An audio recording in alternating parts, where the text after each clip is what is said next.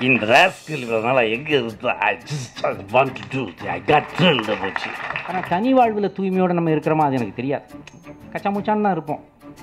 ஏன் அப்படி பார்க்குற? இருக்கியா இல்லையா? ஆ ஆ ஆ. அப்படி இப்படி தான் இருப்போம். நம்மளாம் சாதாரண மனுஷங்க. சில நேரத்தில் வாய் தவறி ஏதாவது பேசிடுவோம். அந்த பன்னெண்டு மணி நெருங்குற டைம் ஆல்ரெடி தழும்பிக்கிட்டு இருப்பான். அதாவது தழும்பிக்கிட்டு இருப்பான்னா சந்தோஷத்தில். நான் மீடியாலாம் இருக்காங்க. நான் எதுவும் தப்பாக பேச மாட்டேன். உஷாராக இருப்பேன். புரிஞ்சிருச்சோ? புரிஞ்சிருச்சா? ஆ. தமிழே வந்து தினத்தந்தினி எழுதி எழுத்து படித்தா பாருங்க. அப்படி தான் படிப்பான். யார் கூப்பிட்றான்னு பாருங்க. அப்படி பார்ப்பான் போனேன். யார் கூப்பிட்றா சார்? யார் கூப்பிட்றா? ஆனால் கில்லாடிங்க. நகைச்சுவை நடிகர்கள் மற்றவர்களை சந்தோஷப்படுத்துகின்ற நகைச்சுவை நடிகர்கள் சந்தோஷமாக இருக்கணும். இதுக்கு கை தட்டலைன்னா எதுக்கு தட்ட போகிறீங்க நான் ஒரு கேப் விட்டு பார்க்குறேன் சார் தட்ட மாட்டேங்கிறாங்க சார் நீங்கள் கொடுத்த டீசென்ட் காமெடியை யார் சார் இன்னைக்கு நாங்கள் கொடுக்குறோம்? கேப் விட்டுருக்கேன் பாருங்கள் ஆ. பாண்டியராஜன் சார் சொன்னார் நாங்கள்லாம் ஏதோ நாங்களும் பண்ணியிருக்கோம் எங்களையும் ஏற்றுக்கிட்டீங்க உங்கள்கிட்ட என்ன சார் குறை? உயரத்தை தவிர. இப்போ சித்ரா தேட்டர் இப்போ கிடையாது. முந்தி இருந்துச்சு. துணிவை துணை ரிலீஸ் ஆன படம். அதுக்கப்புறம் கொஞ்ச நாள் அதுக்கு இல்லாமல் போயிருச்சு. இப்போ வழக்கம் போல் என்ன வந்திருக்கும்? ஆ, இன்றைக்கி வந்து எல்லாமே ச- பொஸ்கு பொஸ்குன்னு முடிஞ்சிருது Vasu sir.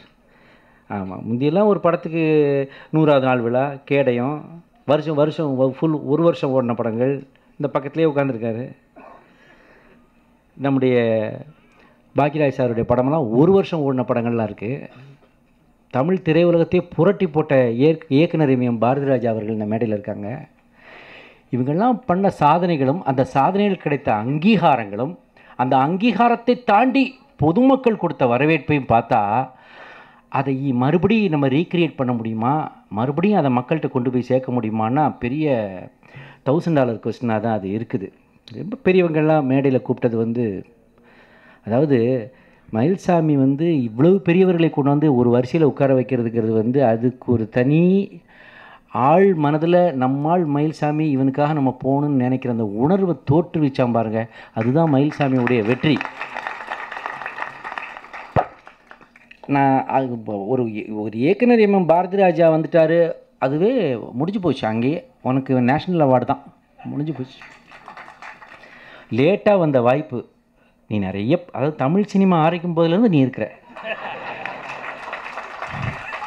Black and white படத்துலலாம் நடிச்சிருக்காரு. நான் நடிச்சதில்லை. எம்ஜிஆர் என் பக்கத்தில் பார்த்துருக்காரு சிவாஜி சாரை பக்கத்தில் பார்த்துருக்காரு. தமிழ்நாட்டில் மிமிக்ரின்ற ஒரு கலையை முதல்ல வளர்த்து எடுத்தவர் பிளாட்ஃபார்மில் படுத்திருக்காரு. அவர் கதையெல்லாம் கேட்டால் அது ஒரு தனி படமாக எடுக்கலாம். ஒன்று ஒரு வார்த்தை. யாராவது வீட்டு வாசலில் என்னங்க போடுவாங்க? லக்ஷ்மி பவனம். இல்லாட்டி ம- ஒரு நல்ல வார்த்தைகள் அப்படிலாட்டி அவங்க பேரை பெருசாக போட்டுக்குவாங்க. அந்த வீட்டு யாரோடதுன்னு. ஆனால் யாரும் இதை போட்டாங்கன்னு எனக்கு தெரியும் யாராவது இதுக்கு முன்னாடி போட்டிருக்காங்களா? இனி போட போகிறாங்களே தெரியாது. அவருடைய வீட்டு சொந்தமாக கஷ்டப்பட்டு போராடி ஒரு வீட்டை கட்டி அது எப்போ கட்டினார்? ரொம்ப வருஷங்கள் போராடி காசு மேலே காசு கொஞ்சம் கொஞ்சமாக சேர்த்து கட்டின வீட்டில் வாசலில் வந்து நல்லவன் வாழ்வான்னு எழுதினார். நல்லவன் வாழ்வான்னு எழுதினார். நிறைய நண்பர்கள்ங்க அவருக்கு இந்த நண்பர்கள் கூட்டம் வந்து இந்த அளவுக்கு ஒரு நகைச்சுவை நடிகனுக்கு throughout the world world நகைச்சுவை நடிகருக்கு இவ்வளோ நண்பர்கள் வந்து ஒரு ஃபோனில் வந்து அவருக்கு உடனே உதவி வரக்கூடிய அளவு நண்பர்களை சம்பாதித்தார். காசு சம்பாதிச்சாரோ இல்லையோ நல்ல நண்பர்களை சம்பாதிச்சார். ஒரு வார்த்தை. தூய்மையும் நேர்மையும் உன்னிடம் இருந்தால் இந்த பிரபஞ்சத்தில் யாராலும் உன்னை வீழ்த்த முடியாது. சுவாமி விவேகானந்தர் சொன்ன வார்த்தை. தூய்மையும் நேர்மையும். தனி வாழ்வில் தூய்மை பொது வாழ்வில் நேர்மை அப்படின்ற ஒரு வார்த்தையை நம்ம யூஸ் பண்ணுறோம் தனி வாழ்வில் தூய்மை பொது வாழ்வில் நேர்மை. இது இருந்துச்சுன்னா உன்னை இந்த பிரபஞ்சத்தில் எந்த சக்தியாலும் வீழ்த்த முடியாதுன்னு சுவாமி விவேகானந்தர் சொல்கிறார் ஆனால் தனி வாழ்வில் தூய்மையோடு நம்ம இருக்கிறோமா அது எனக்கு தெரியாது. கச்சாமுச்சான்னு தான் இருப்போம். ஏன் அப்படி பார்க்குற? இருக்கியா இல்லையா? ஆ ஆ ஆ. அப்படி இப்படி தான் இருப்போம். நம்மளாம் சாதாரண மனுஷங்க. சில நேரத்தில் வாய் தவறி ஏதாவது பேசிடுவோம். அப்புறமா அதுக்கு வருத்தப்படுவோம். அவன் தான் மனுஷன். நம்ம என்ன தெய்வமா? நம்ம தவறுகளை செய்ய மாட்டோமா? We are ordinary human beings அப்போ நம்ம வாயிலிருந்து வர ஒரு சின்ன சின்ன வார்த்தைகளை பெரிதுபடுத்தி அதை ஒரு போராட்டமாக கஷ்டப்படுத்தக்கூடாது. அது அது வந்து நகைச்சுவை நடிகர்கள் சந்தோஷமாக எந்த நாட்டில் எந்த டிஸ்ட்ரிக்டில் எந்த ஜில்லாவில் நகைச்சுவை நடிகர்கள் மற்றவர்களை சந்தோஷப்படுத்துகின்ற நகைச்சுவை நடிகர்கள் சந்தோஷமாக இருக்கணும். இதுக்கு கை தட்டலைன்னா எதுக்கு தட்ட போகிறீங்க நான் ஒரு கேப் விட்டு பார்க்குறேன் சார். தட்ட மாட்டேங்கிறாங்க சார். அதாவது அவங்க ஓவராக இன்வால்வ் ஆயிட்டாங்க. வேற ஒன்றும் இல்லை. அற்புதமான ஆடியன்ஸ் இப்படி ஆடியன்ஸ்லாம் கிடைக்குமா சார் ந- அ- அது சொல் அதாவது ஊருக்கு கதை இது கண்ணாசன் எழுதிய வார்த்தைகள். ஊருக்கு கதை சொல்லும் உள்ளத்தை வதை செய்தால் தெய்வத்தின் முகம் வாடுமே. மகனே தெய்வத்தின் முகம் வாடுமே. ஊருக்கு கதை சொல்கிறது யார்? நான். இயக்குனர் எம். பாரதிராஜா. இயக்குனர் கே. பாக்யராஜ் அவர்கள் இந்தியாவிலேயே ஸ்க்ரீன் பிளேனாக்க அது நம்ம பாக்யராஜ் சார் தான். நல்லா சத்தமாக எப்படி தட்டும் தெரியுமா இதுக்கு?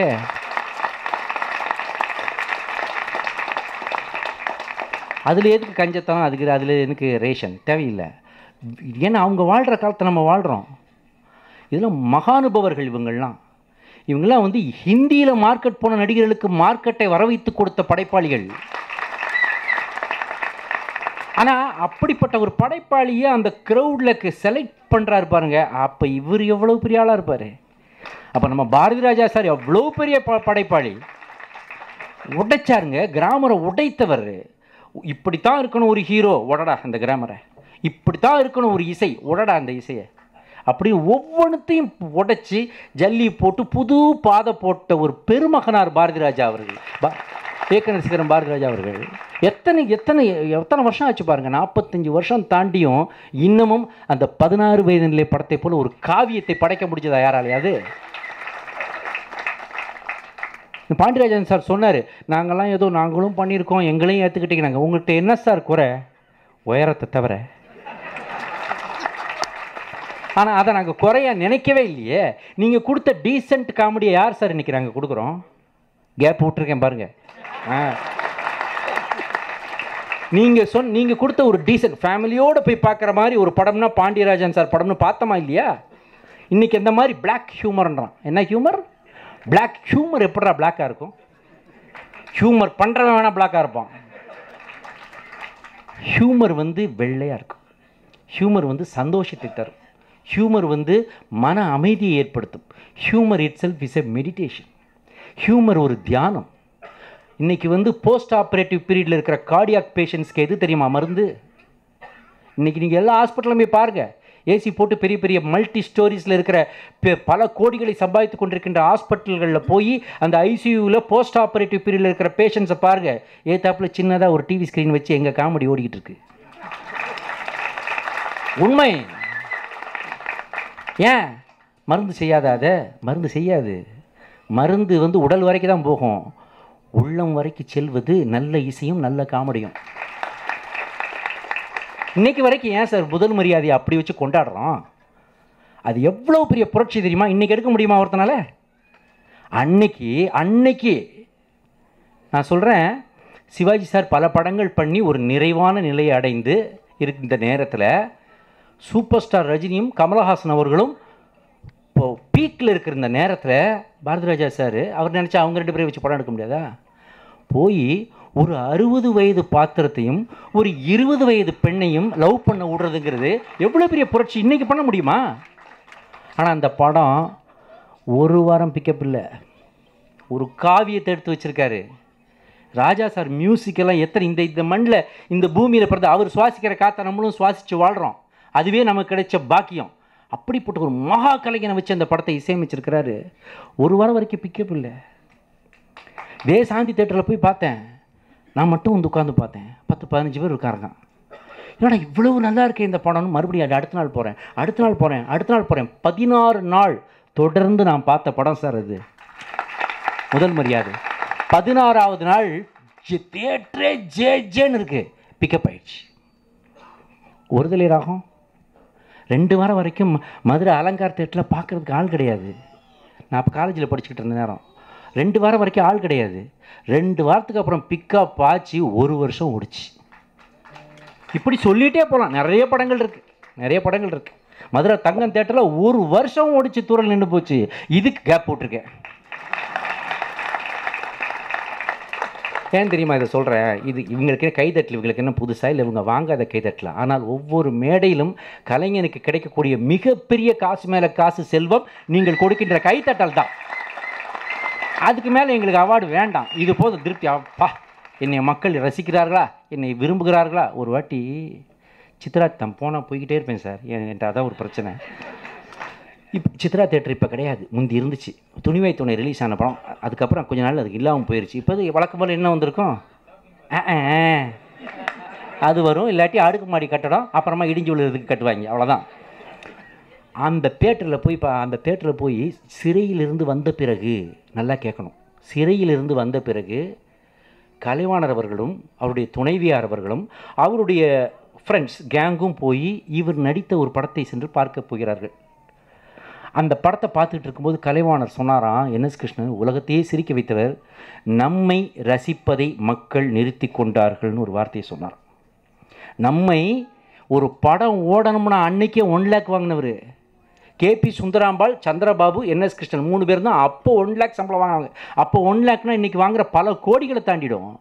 நூறுரூவாய்க்கு ஒரு ஏக்கருங்க நூறுரூவா கொடுத்தா ஒரு ஏக்கர் லேண்ட் வாங்கலாம். அந்த சூழ்நிலையில் ஒன் லேக் சம்பளம் வாங்கினவங்க அவங்க.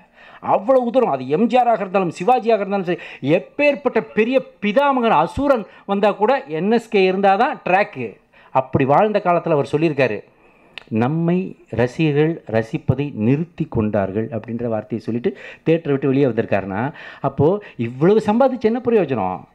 உங்களுடைய கைத்தட்டல்களை மீறி நீங்கள் ரசிப்பதை மீறி எங்களுக்கு வேறு எதுவுமே தேவைப்படவில்லை. கேப்பு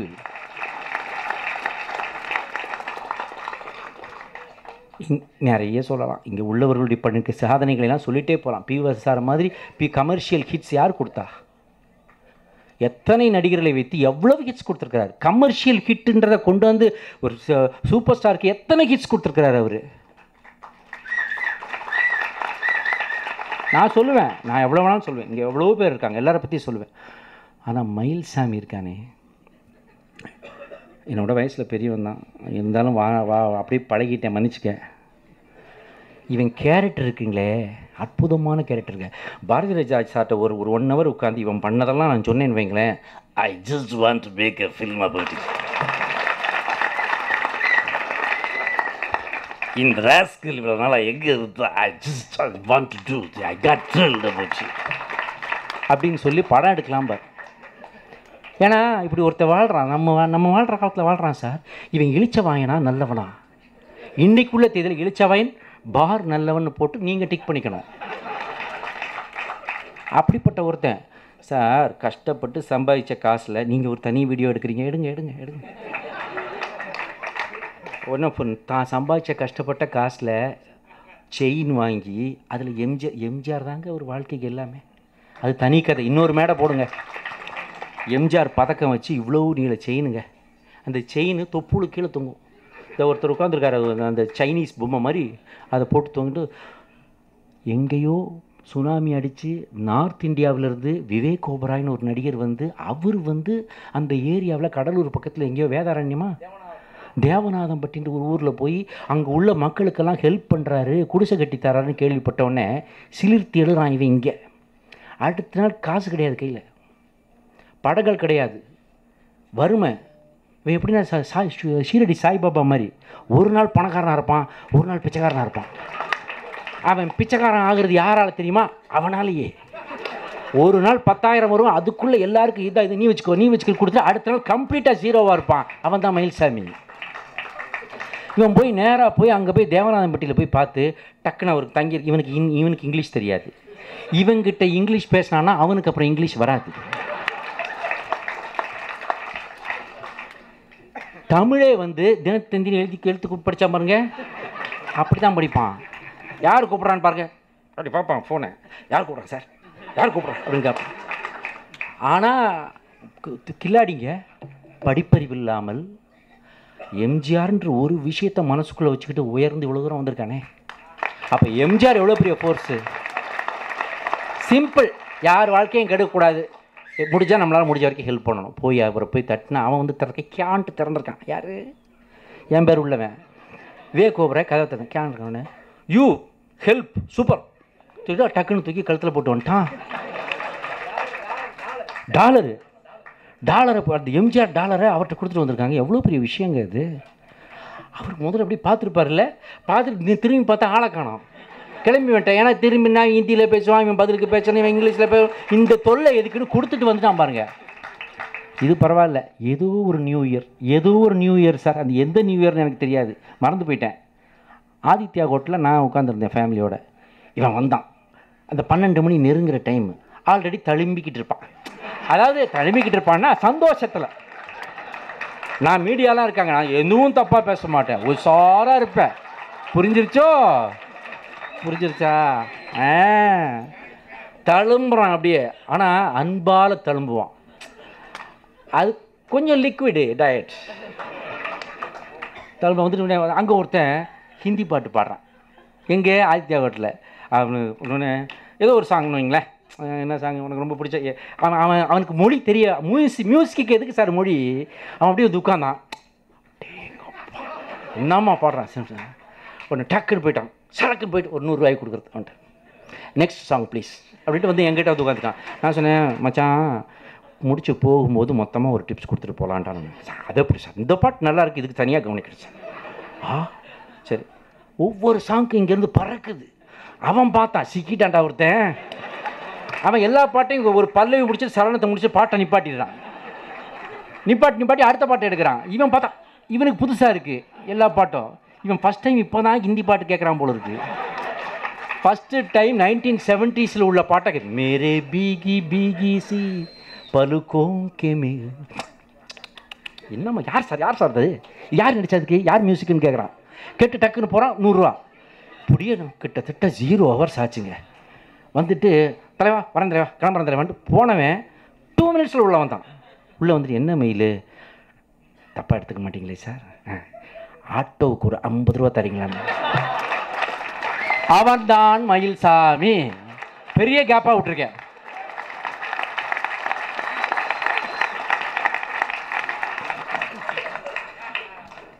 பாரதியார் மாதிரி.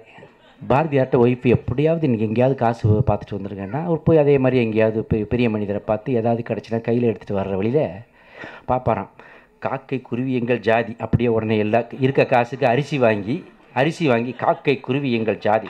நீள் கடலும் வானும் எங்கள்னு போட்டு அது போட்டோம் அதே மாதிரி கஷ்டம். வீட்டில் ஒய்ஃப் சொல்லி அனுப்புவாங்க. போய் எப்படியோ ரெண்டு இடத்துல பீராஞ்சி அந்த வார்த்தை தான் கரெக்டு பீராஞ்சி கொஞ்சம் எடுத்துகிட்டு வந்து பஸ்ஸில் வந்து இறங்கினோடனே பஸ் ஸ்டாப்பில் ஒரு கிளவி படுத்திருக்கு. நைட்டு ஃபுல்லாக பனியில் படுத்திருக்கேன்ட்டு என்ன பண்ண? இதோ பண்ண என்கிட்ட சொல்லியிருக்கேன் டக்குன்னு போட்டிருக்க சட்டையை கழட்டி அது பாட்டி பாட்டி மேலே போடுறது. இந்த வச்சுக்கோன்ட்டு அந்த பா அந்த அதை அப்படியே உள்ளே கொடுத்து help help help help help தன்னால் முடியலன்னா மற்ற நைட்டு பன்னெண்டு மணிக்கு ஃபோன் பண்ணி தொந்தரவு பண்ணுறது மற்றவங்கள சார் இந்த மாதிரி சார் ஒரு பையனுக்கு ஃபீஸ் கட்டணும். சத்யராஜ் சார்கிட்ட கேட்டேன் அவர் தரேன்ட்டாரு. நீங்கள் கொஞ்சம் கொடுத்தீங்கன்னா நாளைக்கு கட்டிடுவேம்மா. இப்படி உதவி புரிந்த உதவி புரிந்து அதாவது நீ எது செய்கிறாயோ what goes around comes back what goes around comes back if you do a harm இது யார் சொல்லலாம் அப்புறம் சொல்கிறேன் if you do a harm to somebody that karma will stay on your head and wait for the proper time at at that time it will give you the equal bad thing to you same way same way if you do a good to others that karma will stand on your head wait for the correct time and it will give the more than equal good to you இது சொன்னது சுவாமி விவேகானந்த் அந்த correct time இப்போ மயில்சாமிக்கு வந்துருச்சு. என் ஒரே ஒரு ரெக்வஸ்ட்டோடு நான் கிளம்பி போகிறேன் ஒரே ஒரு ரெக்வஸ்ட் தான். மீடியா எல்லாம் இருக்கீங்க. அற்புதமான மீடியாஸ் பத்திரிக்கைகள் இருக்கீங்க ஃபோட்டோகிராஃபர்ஸ் இருக்கீங்க. அங்கே ஒரு டிடிஎஸ் எஃபெக்டில் ஒரு சவுண்டு வந்துக்கிட்டு இருக்கு. ஃபோட்டோகிராஃபர்ஸ் இருக்கீங்க இணையதள நண்பர்கள் இருக்கிறீங்க. அங்கே அங்கே எல்லோரும் எல்லா டிவி சேனல்ஸ் எல்லோரும் இருக்கீங்க. ஒரே ஒரு ரெக்வஸ்ட் தான். இந்த ரெக்வஸ்ட்டை திரையுலக பெருமக்கள் அத்தனை பேர் இருக்காங்க இவங்களாம் ஒரு படம். முதல் மரியாதை வந்து ஒரு வாரம் கழிச்சு பிக்கப் ஆச்சு. ஆனால் இன்றைக்கி அன்னைக்கிளின்னு ஒரு படம் வந்துட்டு ரெண்டு வாரத்துக்கு தேட்டரில் யாருமே இல்லை. மூணு நாள் இன்றைக்கி ஒரு படத்துக்கு ரிசல்ட்டு சரியில்லைன்னா தூக்கிடுறாங்க. இந்த மாதிரி ஒரு நிலமை அன்னைக்கு இருந்ததுன்னா ஒரு முதல் மரியாதை ஓடி இருக்குமா ஒரு அன்னக்கிளி ஒரு இளையராஜான்ற ஒரு மகா கலைஞனை நாம் இழந்திருப்போம். இன்னைக்கு அதற்கான அவகாசம் கொடுக்கப்படுவது இல்லை.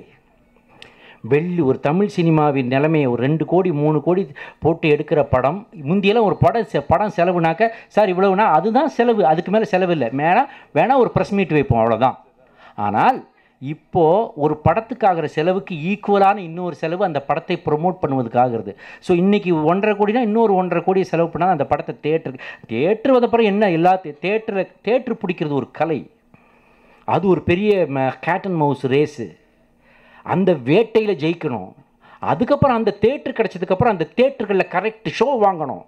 அதுக்கு சில குயுக்திகள்லாம் இருக்குது. அதெல்லாம் முடித்து அதை கொண்டாந்து மக்கள்கிட்ட கொண்டாந்து சேர்க்கணும். சேர்க்குற படத்தை பார்க்க விடணும். பார்க்க விட மாட்டேங்கிறாங்க இன்றைக்கி ஃபஸ்ட் டே ஃபஸ்ட் ஷோன்னு சொல்லிட்டு ஃபஸ்ட் டே ஃபஸ்ட் ஷோ பார்த்துட்டு வெளியே வந்து நின்றுட்டு சார் இந்த படம் வேண்டாம் சார் சொல்ல முடியல சார் அப்படின்னு சொல்லிட்டு போயிடுறாங்க. அதை அவங்க ஃபோட்டோ எடுத்து அவங்க அதை வீடியோ பண்ணி அதை விமர்சனமாக போடுறாங்க. இது எப்படி? அந்த தம்பிகளுக்கெல்லாம் நான் ஒரு ரெக்வெஸ்ட் வைக்கிறேன். இந்த இணையதள தம்பிகளுக்கு ஒரு ரெக்வஸ்ட் வைக்கிறேன். சில அண்ணன்களும் இருக்கிறாங்க. அவங்களுக்கு நான் வைக்கிற ரெக்வெஸ்ட் அதுதான். ஒரு படம் வந்தால் வெள்ளி சனி ஞாயிறு என்று ஆயுள் சுருங்கிய இந்த காலத்திலே அந்த படத்தை மக்கள் பார்த்து டிசைட் பண்ணுவதற்கு அனுமதியுங்கள் ஒரு மூணு நாள் அந்த படத்தை பார்க்க விடுங்க. அதுக்கப்புறம் அதுக்கு விமர்சனம் எழுதுங்கள். கிழிச்சு நார் நாராக தொங்க விடுங்க. எல்லா படம் அப்புறம் விமர்சனமே பண்ணக்கூடாதுன்னு சொல்கிறது மிகப்பெரிய தவறு. ஆனால் ஒரு ஓவியத்தை விமர்சனம் செய்வதற்கும் ஒரு சிற்பத்தை விமர்சனம் செய்வதற்கும் ஒரு சினிமாவை விமர்சனம் செய்வதற்கும் நிறைய வித்தியாசம் இருக்குது. ஒரு ஓவியத்தை விமர்சனம் பண்ணினா அந்த ஓவியம் அந்த ஓவியன் அந்த ஓவியத்துக்கான அவனுடைய செலவு அதோடு அது முடிந்து விடுகிறது. ஒரு சிற்பம் என்றால் அந்த கல் அந்த சிற்பி அவன் செதுக்கிய சிறு சிற்பம் அதோடு அந்த பிரச்சனை முடிந்து விடுகிறது. ஆனால் ஒரு சினிமா என்பது அப்படி அல்ல. பல நூறு குடும்பங்களின் உழைப்பு பல கோடி ரூபாய்கள் வட்டிக்கு வாங்கிய உழைப்பு தயாரிப்பாளரின் இரத்த கண்ணீர் அது. அதன் பிறகு அதற்கு ப்ரொமோஷனுக்கு அவர் பட்ட கஷ்டங்கள். அதற்கப்புறம் அவர் பட்ட கஷ்டம் கடைசி நேரம் வரைக்கும் அவருடைய பதைபதைப்பு. அந்த படம் மக்கள்கிட்ட போய் சேரணுமே அவர் துடிக்கிற துடிதுடிப்பு. அவரது வீட்டு தாய் குலங்களின் பதைபதைப்பு. கண்ணீர் இதெல்லாம் அதுக்குள்ளே அடங்கியிருக்கு ஒரு நீங்கள் ஜஸ்ட் லைக் தட் ஒரு நூற்றி இருபது ரூபா கொடுத்து ஒரு டிக்கெட் பார்த்து ஒரு படத்தை பார்த்துட்டு வெளியே வந்து ஃபஸ்ட் டே ஃபஸ்ட் ஷோ வெளியே வந்து நின்று தேட்டர் வாசலில் அவன் தன்னுடைய கேமரா வச்சு சொல்கிறான் அந்த பையன். சார் படம் எப்படி சார் இருக்கிறேன் சார் வேண்டாம் சார் விட்டுருங்க சார். இதுக்கு பேர் விமர்சனமா? இதுக்கு பேர் விமர்சனமா? எத்தனை பேர் கஷ்டப்பட்டு அந்த படம் அது குப்பையாகவே இருக்கட்டுமே. எல்லாமே மாணிக்கங்களா? ம குப்பையில் மாணிக்கம் கிடக்கலாம். மாணிக்கமே இல்லாத குப்பைகளும் இருக்கத்தான் செய்யுது. நமக்கு தெரியாது. அதை மனிதன் மக்கள் முடிவு செய்யட்டும்.